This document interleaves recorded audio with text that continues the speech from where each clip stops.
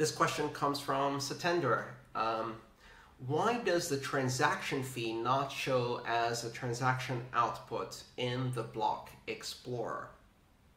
Satender says further, just bought mastering Bitcoin. I had this question looking at a sample transaction in the block explorer. Is there a public address where the transaction fee is sent and is that address hidden on purpose? That's a great question, Satinder, and it's it's something that is very confusing at first because you look in the block explorer and it's supposedly showing you all of the information that's in a block and it, it seems that fees are not in there at all. Um, and the, the true reason for that is because fees are indeed not in there. A transaction does not include a specific output for fees. That is not part of a transaction. Um, one of the reasons is because that would require you to know where the miner wants the fees to go. So you would have to put in your transaction an output that could be redeemed by a miner, but then you don't know who's going to mine it yet. So that would be impossible. Uh, the second problem is, of course, that you'd have an extra output in every transaction. If you have 4,000 transactions in a block, that's 4,000 outputs for fees. And yet, the fees are all going to go to one miner. Why do we need 4,000 outputs? So that's not how it works. The way it works is the fees are leftover, meaning that you have inputs that bring in a certain value into a transaction, and then you have outputs that spend less than that.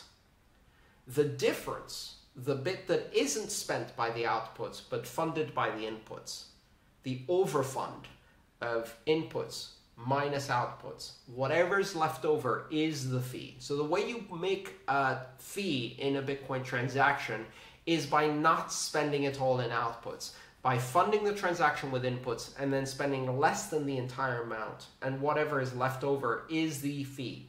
It's implicit, it's not explicit. Okay, great, so it's not in the transaction. But where is it? Where is the public address that gets all the fees? Where is that payment? And here's the answer. It's in the Coinbase. It's in the Coinbase transaction of the block where the transaction is mined. So if you look at your little transaction in a block, and then you look at the Coinbase transaction of that block, right now the Coinbase reward is 12 and a half Bitcoin. But if you look at the Coinbase transaction, which pays to a specific um, paid, it's usually a pay-to-public-key-hash. It might be a different type of script, but usually it's a paid public key hash. So you can see which address the miner is paying to. They're not paying 12.5 Bitcoin, which is the reward in the Coinbase. They're paying 12.513621 or 12.6 or 12.6253. Where did that 0.1 come from? Where did that 0.123 come from? That's the fees. And what it is, is it's the fees from all of the transactions that, that were included in that block added up. Do the math. Go and look at every transaction in a block. Probably best to pick a block that's relatively empty. Uh, and you can find those in the early days of Bitcoin. Same rules applied. You can find blocks that have two or three transactions. And within those blocks, look at the math. Or you could even run a little script if you want to. Uh, try, try out your skills with, uh, with the Bitcoin software and running uh, scripts and interrogating the blockchain so you can see for yourself. Download a block, pull out all the transactions, add up the amounts of all the inputs, add up the amounts of all of the outputs, deduct the outputs from the inputs. You're left over with the fees, the fees for all of the transactions. And if you look at the Coinbase, the amount above and beyond the the reward that comes in each block, which is currently 12 and a half Bitcoin, or whatever it was at the time of the block that you look at, you'll see the Coinbase is more than that. That amount should correspond exactly to the excess input of all of the transactions, to the implicit fees. And that's where the output is.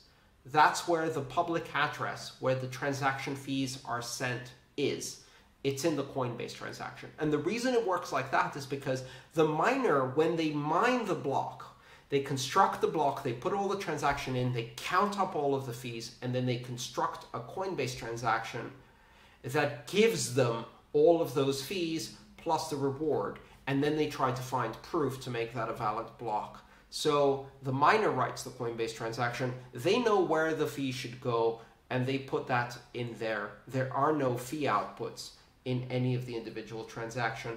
There's one fee output for the block and it's the combined amount of reward plus all of the fees from all of the transactions. I hope that answered your question, Satinder. It's, it's a little tricky thing, but it's very interesting how it's being designed and why it's being designed like that. I hope you enjoyed that answer.